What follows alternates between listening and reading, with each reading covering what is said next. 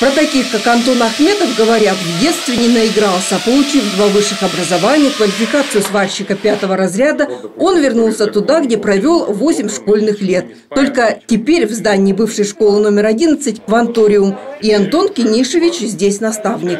С его помощью Анжелика Дудина и Регина Сливащенко собирали этот дрон-диагноз с тепловизором на борту. В перспективе это будет беспилотник размерами вот с это помещение, то есть будет он огромный, который может держаться в воздухе ну, практически неограниченное время за счет солнечных батарей. Для кого этот проект будет интересен, это для МЧС, то есть России. Ванториум в Тобольске открыли в декабре 2019 года. А уже сейчас здесь занимаются техническим творчеством 1400 воспитанников от 11 и до 18 лет. И все они нацелены на проектную деятельность.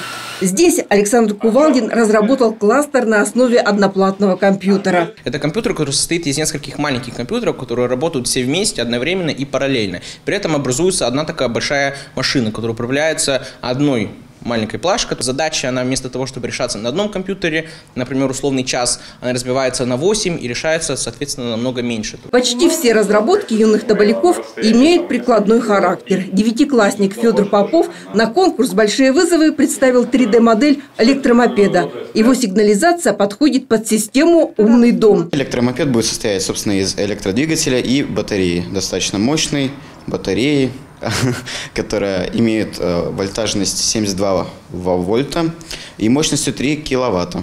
Да, что э, сможет достигать скорости 60 км в час. Моя идея – сигнализация, как, как минимум. Потому что обычно сигнализация, она идет как звуковая, то есть звук э, кричит, орет.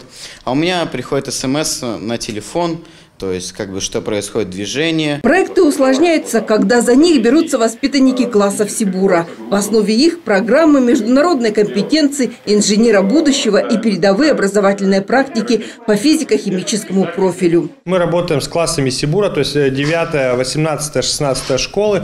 А, они э, у нас э, работают на базе наших э, квантумов. Вот Федор, София, у них проект сыросся вообще. То есть она изначально, как ну, ребенок Сибура, Бура. Федор как мой проектник, то есть у них пересечение пошло. То есть почему? Потому что у него электромопед, ему нужны мощные литиевые батареи. Финальный этап регионального трека всероссийского конкурса «Большие вызовы» прошли 12 воспитанников детского технопарка «Кванториум Тобольск». Александр Кувалдин и Софья Пьянникова стали призерами. Накануне их чествовали в городской думе. Ольга Куричка, Ярослав Прохоров, Тобольское время.